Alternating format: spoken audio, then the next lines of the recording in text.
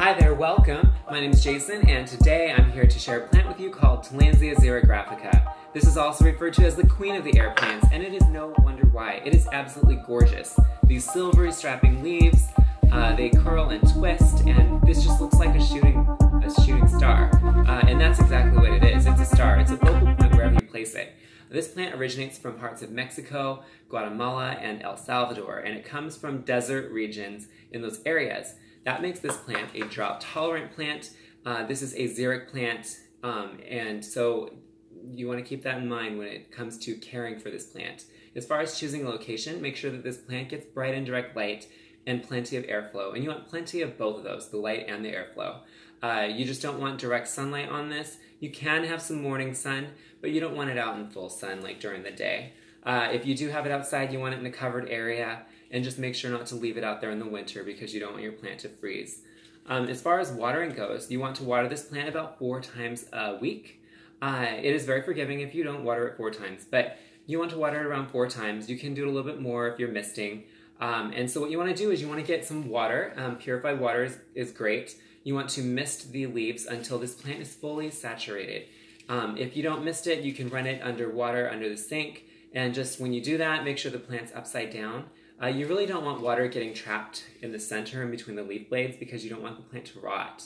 Um, so you want to water it, letting the water run um, over the plant while it's upside down if you have you're watering it at the sink.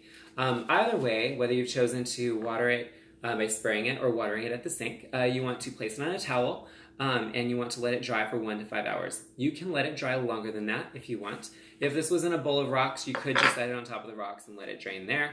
Um, once it's done drying, um, you can just turn it back up and it's ready for display again. Uh, the reason you want to water this plant in the morning is because where it comes from, it experiences cool evenings and dew accumulates all over these leaves in the morning. So we're trying to mimic what it experiences in its natural habitat, and that will help your plant thrive.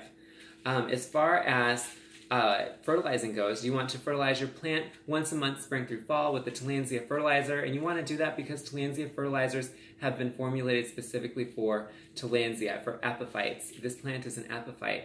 In other words, um, when it when it grows roots, it uses those roots to mount itself to trees up in the air.